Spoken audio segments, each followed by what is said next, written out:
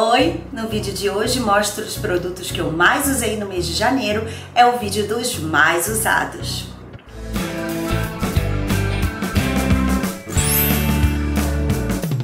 Se você é da turma que é fã do vídeo de mais usados ou tá chegando aqui no canal e adora saber os produtos favoritos e os mais usados das youtubers, não deixe de clicar em like para ajudar a divulgar o vídeo e assim mais gente que também gosta desse tipo de vídeo acaba descobrindo o canal. Vamos começar, como sempre, pelos produtos de cabelo. Então, os destaques de cabelo desse mês foram a máscara Reviver, que é da linha Reline, da terapeuta capilar Renata Fraga. Ela tem um canal aqui no YouTube ótimo e ano passado ela lançou essa linha com o nome dela. Essa máscara ela é indicada para cabelos oleosos e levemente secos, é altamente hidratante, proporciona brilho e maciez ao fio sem reduzir o volume, uh, retira odores de químicas em geral e possui um pH baixo. Eu, quando pedi esses produtos da Renata Fraga, tem, eu acho que vocês forem ver os mais usados de uns meses atrás, mais ou menos setembro, outubro, não lembro, vocês vão ver os produtos da Reline que eu tinha começado a usar. Na época eu comecei a usar essa máscara, mas eu achei assim, uma máscara ok, nada muito extraordinário ok? Cumpre realmente o que promete, né? Uh, hidrata o cabelo sem tirar o volume. Mas agora, para quem não é de Brasília, eu sou de Brasília, uh, e para quem não é daqui, o que acontece é essa época é a, a época que a gente chama da época de chuva. Chove bastante aqui nessa época do ano e choveu, o que que acontece, gente? Frizz, né? Parece frizz, fica todo mundo com frizz no cabelo eu não sou diferente de ninguém, até porque eu não faço mais nenhum uso de química de nenhum tipo, tipo escova progressiva, alisamento, nada desse tipo. Então, eu, o meu cabelo é aqui assim, naturalmente eu uso só produto mesmo para modelar. E aí quando chove, claro que o frizz aparece. E uh, eu comecei a usar essa máscara depois que eu cortei o cabelo novamente, depois das férias, né? Uh, e eu queria realmente uma máscara que não hidratasse muito, porque depois que eu cortei o cabelo, uh, ele ficou, ele volta a ser mais saudável. Eu tinha ido na praia, então ele estava mais comprido e, e, fica meio sofrido mesmo, né? Dos efeitos da praia e tudo. Depois que eu cortei, eu precisava de uh, um produto que, que não fosse tão pesado. E aí eu voltei a usar a máscara da Reline, essa Reviver, e o que me surpreendeu foi que ela ajuda muito no frizz. Então, assim, foi uma coisa que eu ainda não tinha percebido nela e que eu percebi agora nessa época de chuva e tô usando ela, usei bastante ela esse mês porque ela me ajudou muito nessa questão do frizz. E outro produto que eu volta e meia mostro para vocês aqui e que eu adoro e já tá quase no finalzinho é esse condicionador a seco da linha Revitrate da Dermage. Ele é um spray seco uh, e ele tem 12 óleos nutrifuncionais. Então a Dermage diz que ele hidrata, dá maciez e reduz o frizz. Eu gosto dele pra reduzir o frizz mesmo. Tá chovendo, fica aqueles fiozinhos arrepiados no topo da cabeça. Eu pego ele, normalmente eu levo ele na minha bolsa, dou uma borrifada, espero um ou dois minutos pra o cabelo assentar, porque a dermage pede, né, que você espere um ou dois minutos mais ou menos para o cabelo assentar. E aí passo a mão e ajeito para dar uma baixadinha maior no frizz, uma modelada assim. E amo, gente, amo demais esse produto e me ajuda demais na época da chuva. Quando ele terminar, eu tô curiosa para testar o da Batiste. Então, se alguém já experimentou o condicionador a seco da Batiste, me conta aqui se ele adianta para frizz, porque senão eu nem vou perder meu tempo comprando, né? Esse mês eu vou mostrar para vocês uma categoria que já tem mostro coisa para vocês aqui, são produtos para as unhas. Uh, para quem não acompanha ou quem tá chegando agora, eu uh, desde abril do ano retrasado, então quer dizer, já vai fazer dois anos, que eu não tiro mais as cutículas, então sou eu mesma que faço as minhas unhas, porque é empurrar, higienizar. Então, uh, eu tô sempre experimentando produtos novos quando esses acabam. Tem um vídeo aqui mostrando como eu cuido das minhas unhas e cutículas, eu vou deixar o card aqui para vocês verem, tá? E esse mês, os produtos novos que chegaram, que eu tô amando para fazer manutenção das minhas cutículas são esse amolecedor de cutículas da Ideal, que ele tem óleo de argan, vitamina E, ômega 6 e ômega 9. Eu não costumo encontrar esses produtos da Ideal aqui com muita facilidade aqui em Brasília. Mas eu viajei para Santa Catarina e eu vi esse amolecedor de cutícula lá. Eu sei que os produtos da Ideal são muito bons e aí eu trouxe para mim e agora já tô começando a ficar agoniada, tudo bem. Eu gastei, uh, suponhamos, um quarto, né, nesse último mês aqui dele. Ai, mas já tô agoniada porque se ele acabar, assim, ele é excelente, ele deixa a cutícula hidratada porque tem amolecedor de cutícula, né? Ainda mais quem não tira a cutícula, que é importante essa parte da hidratação você empurra, ah, eu no caso passo uma escovinha também para dar uma esfoliada na cutícula e você vê que alguns deles, eles não deixam a cutícula hidratada depois que você faz essa parte da limpeza.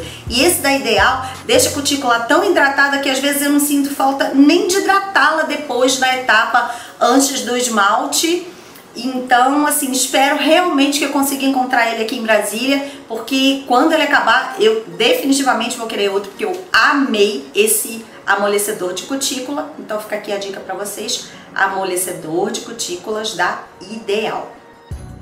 E outro produto que é de uma marca daqui de perto, que é de Goiânia, da Blunt, uma marca que eu amo e a linha de tratamento deles é ótima. E eles me mandaram no mês passado, é, eu acho que no mês de, final de novembro, início de dezembro, e eu tava louca para experimentar. É o Sec Fresh, que é o secante de esmalte deles.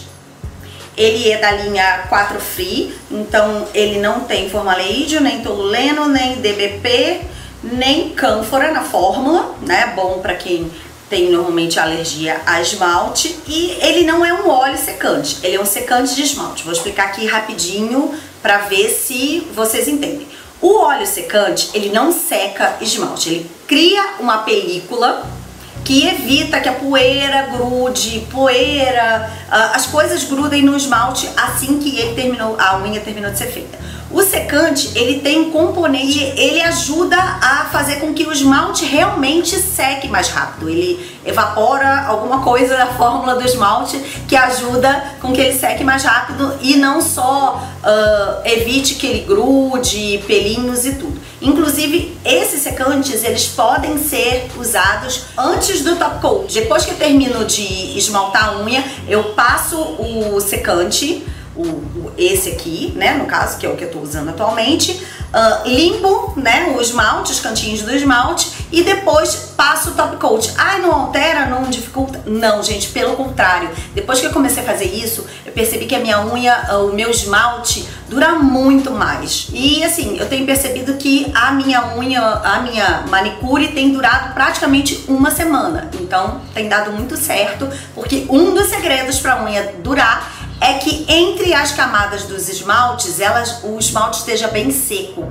Então, muita gente reclama ah, porque o Top Coat faz uma camada grossa. Experimenta essa dica de passar um, um, secante de esmalte. Então, tem a quem disse Berenice tem um, a Blunt tem, outras marcas tem. Não é óleo secante, secante de esmalte Antes, é, experimenta e me conta se funciona para você também. Nos cuidados com a pele esse mês, gente, mês de férias, eu tô bem relax, mais tranquila, fiquei mais em casa, descansando. É, ainda tentando recuperar minha pele do efeito rebote da praia. O que que eu usei bastante?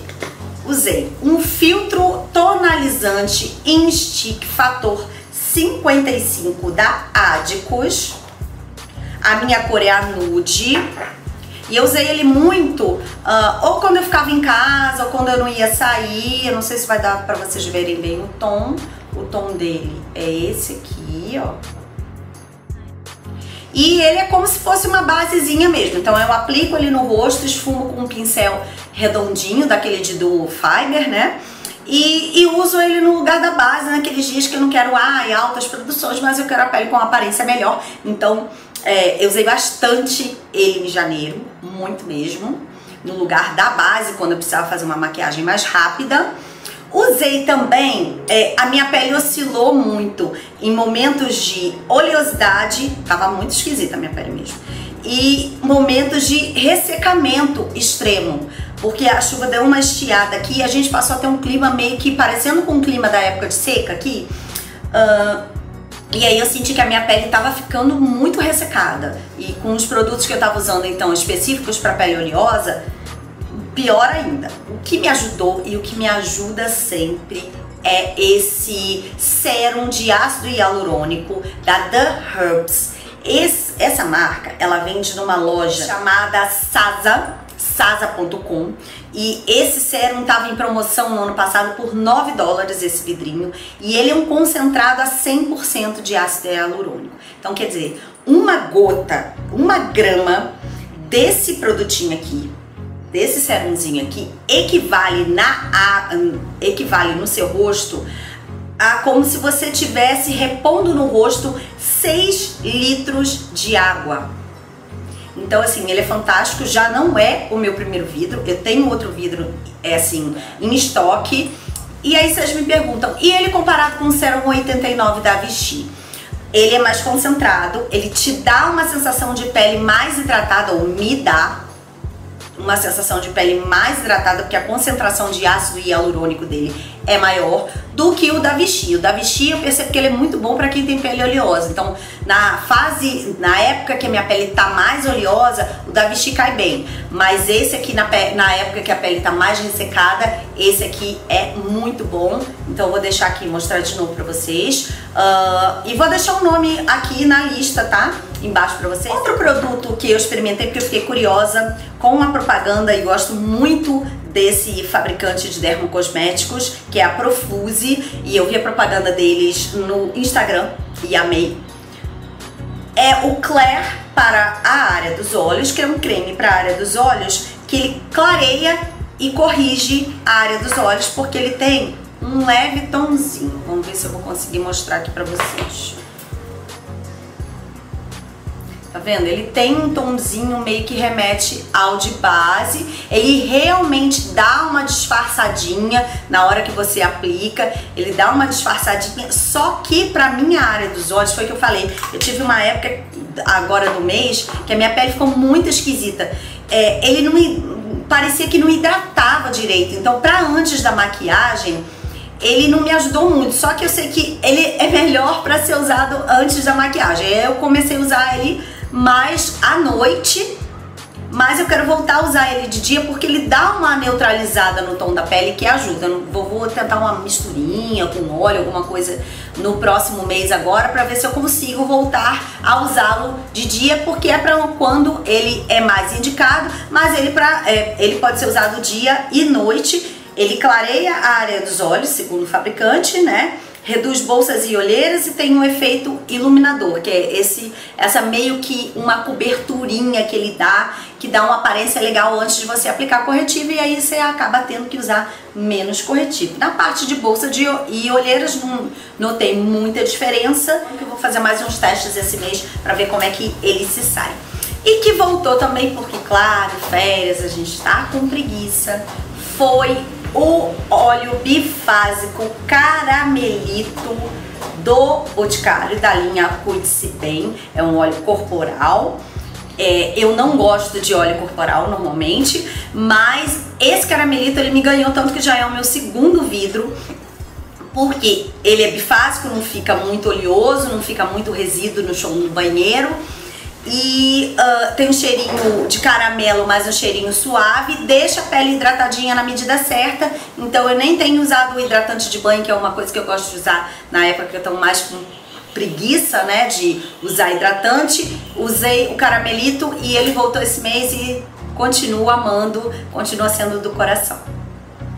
Os produtos de maquiagem desse mês foram o Primer Professional Pearl, que é a novidade, lançamento da Benefit lá fora, ainda não chegou aqui no Brasil. Ele é o Professional, só que ele tem um tonzinho rosado e leves partículas uh, peroladas. A filha da dona da Benefit tem muito o costume de misturar o Professional, aquele da embalagem azulzinha, verdinha, uh, com o Dead Gal, que é um, uma espécie de primer iluminador de pele. E uh, ele dá um tonzinho, a mistura dos dois dá um tonzinho muito parecido com esse Professional aqui. Então eu acho que o, o, a intenção da Benefit quando lançou foi meio que criar esse efeito. Só que pra mim ele continuou sendo bem sequinho como Professional normal. Então na minha pele, que já não é uma pele tão jovem, ele realmente deu aquele efeitinho filtro que corrige os poros mas em alguns momentos, em alguns dias, ele ressecou demais a pele. Então eu usei ele misturado a um outro primer hidratante e aí sim eu gostei mais dele na minha pele. Mas a turma que ama o Professional e gosta de um rosto um pouquinho mais iluminado, com certeza vai gostar desse quando chegar aqui no Brasil. Segui usando a base Maestro, porque eu ainda tava até a semana passada ainda tava bronzeadinha, mas com a pele do rosto mais bronzeadinha e ela é um pouquinho mais escura. É a base de conta-gotas da Maestro, da Giorgio Armani. É a mãe de todas as bases de conta-gotas. Foi a primeira base de conta-gotas lançada no mercado mundial, então já há alguns anos. E como a minha cor é 6.5 é, e ela é um pouquinho mais escura que o tom da minha pele, eu usei ela né, como a minha pele estava mais escura, foi a base que eu usei esse mês. Além dela ter um tomzinho um pouquinho mais escuro que eu precisava, uh, ela ainda tem uma cobertura leve, então não marcava muito a pele que estava um pouquinho sequinha e um pouquinho ainda sofrida dos efeitos do sol e da praia. Mas para dar uma iluminada, para dar aquela selada, eu usei o pó Ambient Light da Hourglass. Infelizmente, esses pós não estão mais à venda no Brasil esse meu na cor Dim White, que ele não é um iluminador, ele é um finalizador, que ele tem um tomzinho aqui assim, meio uh, clarinho e dá para ser usado no rosto todo. Então eu uso muito ele aqui no centro do rosto, onde eu preciso selar, onde a base fica mais molhadinha, eu uso ele porque ele não só sela, Uh, ele equilibrava um pouquinho a cor da base, né? Porque quando a gente está com uma base mais escura, estranha um pouquinho. Então, ele dava uma iluminada também no tom da pele. E dava um glowzinho também bonito. Eu sempre recorro a ele quando eu quero dar um glow, deixar a pele com um glow, porque o glow dele não é exagerado, não fica aquele brilhão na pele, né? Então foi o meu pó que eu usei, foi o pó que eu usei para selar minha base esse mês e adoro esse pó. E para aplicar o pó, eu usei esse pincel aqui que foi do kit de iluminador da coleção de Natal da MAC, o 140 Special Edition, que ele é menorzinho, ele é excelente para passar pó solto, iluminador, Uh, ou para passar uh, pó também, pó compacto quando você quer dar um acabamento mais natural, muito bom, a meia. De sombra, eu usei bastante essa sombra aqui da Colourpop, a Come and Get It. Vou mostrar para vocês ela mais de pertinho. Ela tem esse tom, é um tom de rosé gold, só que ela, além de ser esse rosé dourado, ela tem umas partículas que, que lembram, que remetem ao esverdeado. Ó, vocês estão vendo aqui nessa luz, dá pra ver bem, tá vendo? Ela tem um leve reflexo esverdeado. Usei muito ela esse mês. Eu fazia uma base de uma sombra marrom comum, quase que no olho todo, e vinha no cantinho e só aplicava ela com o dedo mesmo. E aliás, foi um segredo que aprendi. Eu não gostava dessas sombras compactas da Colourpop, que eu acho que elas esfarelam demais. E eu descobri que o segredo é aplicá-las com o dedo. Então eu tô aplicando elas com o dedo, tô gostando bem mais do que aplicá-las com o pincel. Usei também muito no olho como sombra, seguindo a dica de uma amiga minha, Renata, que me indicou esse iluminador. O Riviera da Anastasia Beverly Hills. Para algumas pessoas ele vai puxar mais pro rosé, para outras pessoas ele vai puxar mais para o rosa antigo. O tom dele é esse aqui, tá vendo? Mim ele puxa mais para um, sei lá, um champanhe, um pérola, meio talpe assim. Então em mim ele não fica tão com fundo tão rosado, mas eu gosto muito de usar ele com uma sombra mais rosadinha por baixo, que dá um efeito muito bonito, com uma sombra marrom também por baixo, fica bem legal. É o meu primeiro iluminador da Anastasia, eu não tinha nenhum, nem nenhum daqueles kits, e assim, ainda bem, sabe, que eu pedi porque realmente os iluminadores da Anastasia são diferentes, têm um brilho diferente, têm um acabamento diferente. Obrigada Rê por mais uma indicação, por mais uma dica e não me arrependi porque ele realmente é maravilhoso. De corretivo esse mês eu usei uh, esse corretivo aqui da Bobbi Brown que chama Tinted Eye Brightener que ele é como se fosse uma versão líquida daquele corrector da Bobbi Brown, com a vantagem de que você pode usar ele depois também ao longo do dia para dar retoque. Esse aqui é na cor Medium to Dark Bisque, então que é um tom mais rosado, eu já tenho esse iluminador há bastante tempo. Aqui no detalhe para vocês verem, ó, vou passar aqui na minha mão.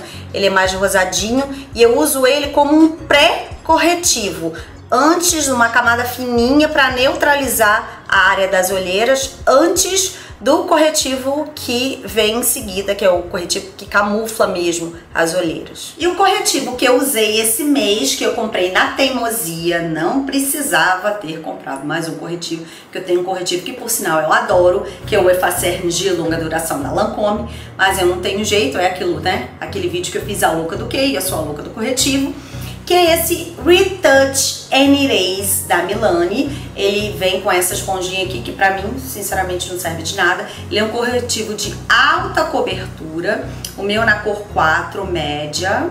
O tom dele é esse aqui, ó. A cobertura dele é bem alta, não sei se vocês vão conseguir ver com muita clareza aqui, mas ele cobre bem.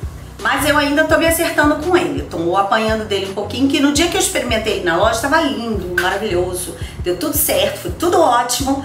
Só que quando eu cheguei em casa ele começou a craquelar horrores. Então não sei se é isso dessa, desse ressecamento maluco que acabou dando na minha pele esse mês, é do corretivo, tô tentando umas misturas com Duraline para ver se ele fica melhor, porque ele é realmente é um bom corretivo, tem uma boa cobertura, mas ele começou a ficar ressecado demais, marcar demais, então vamos ver como é que eu vou me entendendo aí com ele no, nesse mês de fevereiro, no próximo mês. Meus blushes desse mês foram o blush Peach Twist da MAC, que não é novidade, eu acho que vocês já viram ele no mês passado, no vídeo de necessaire dos produtos que eu levei pra praia. Ele tem esse tom de pêssego bronze aqui, usei bastante porque era um dos que mais realçava quando a minha pele ainda tava um pouquinho bronzeada e que eu vi no Instagram da marca que me apaixonei por causa da cor é esse pó bronzeador cor 2 da Mia Make que ele também tem um tom meio de pêssego, dependendo da pele ele fica mais rosado, fica mais bronze.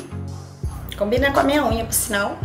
Ele é meio durinho pra sair, então não sei se vai aparecer muito bem o tom. Eu tô com ele aqui no rosto hoje, esse blush que eu estou. Estou usando ele como blush hoje para vocês verem. Por sinal, vai ter vídeo com ele com mais dois outros produtinhos que são mais baratinhos que eu estou amando usar na semana que vem. Então, não deixem de conferir. E também outro, outro que vai ser estrela do vídeo da semana que vem, que eu vou mostrar pra vocês que eu tô amando, é esse Glow Gorgeous Bronzer Baked da Luisans, esse aqui na cor D. Eu tô, não sei se vocês vão conseguir reparar, eu tô com ele como iluminador também, porque ele em mim, ele não chega a ficar um pó bronzeador. Ele fica algo meio termo, um iluminador com uma pegadinha um pouco mais de bronzer. Então ele é ali pra mim, ele é no meio do caminho dos dois. Ele tem, ó, tá vendo esse alto relevo lindo. E esse tom aqui, ó, tá vendo? É um bronzer meio bronzer, um bronzer mais clarinho. E tem lugar que vende esse iluminador bem baratinho, na faixa dos 10, 15 reais. Eu paguei aqui na faixa dos 20 por Brasília, né? Nos lábios eu ressuscitei mesmo, lá do fundo da minha maleta, o batom Viva Glam Cindy Lauper. O meu já tá até no finalzinho que foi, agora que eu fui ver, eu não sei se ele é de 2010 ou 2011, tava lá perdidinho, sumidinho, eu me lembrei dele um dia e comecei a usar, que ele tem esse tom meio que de vermelho cereja, acabamento luster, que é aquele acabamento que lembra o gloss, eu por sinal estou com ele por cima de um outro batom líquido, Uh, vídeos do mês passado, em alguns vídeos eu também tava com ele, se vocês virem um lábio meio vermelhinho, meio rosadinho, que eu gosto é esse, ele dá um vermelho coradinho, tá vendo? Um vermelho meio cereja, meio coradinho, com muita luminosidade, assim, com um efeito bonito. Opções que são parecidas Opção que é parecida da MAC é o batom On Hold. Eu vou deixar inclusive o link para vocês aqui, porque eu fiz um post no blog uma vez mostrando o On Hold. E o On Hold é mais ou menos da mesma família, tá? que também ficou esquecido. E que quando o Cindy acabar, com certeza eu vou retomar o uso. E eu usei bastante ele com esse lápis aqui da Colourpop, que chama Faded e tem o batom também com o mesmo nome. Ele tem esse tom lindo aqui e que lembra muito o tom do batom. o batom e o lápis, então eles se complementam muito bem. Foi a minha duplinha do coração nesse mês de janeiro, assim, praticamente não usei outro batom.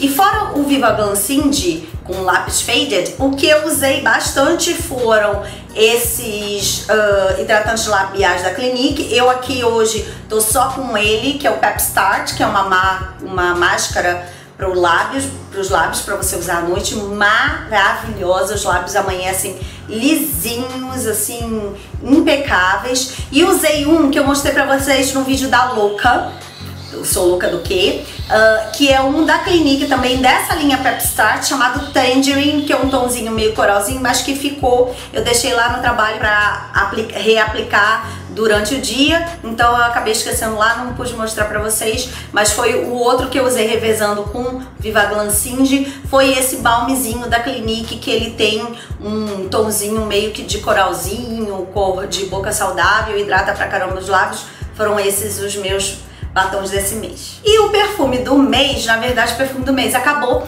então para eu não ficar repetitiva, vocês vão ver esse perfume no vídeo dos terminados, então eu mostro para vocês qual foi o perfume que eu mais usei no mês de janeiro no vídeo dos terminados. Então esse foi o vídeo com os produtos que eu mais usei no mês de janeiro. Não deixem de acompanhar minhas redes sociais, onde eu tenho novidades todo dia, todo dia tem post novo. Às vezes, quando dá tempo, faço stories mostrando novidades, mostrando um pouco da minha rotina, do meu dia a dia, coisas que chegam, coisas que eu vejo por aí. O endereço é claumeloblog, vou deixar aqui embaixo para vocês. E então deixe de acompanhar também o site claumelo.com, onde além do vídeo de todas as semanas, né, de todas as quartas, eu também tenho mais duas postagens, as segundas e as sextas-feiras, e todos os links estão aqui na capa do YouTube e no box de descrição. Obrigada por assistir, um beijo e até o vídeo de terminados na sexta-feira.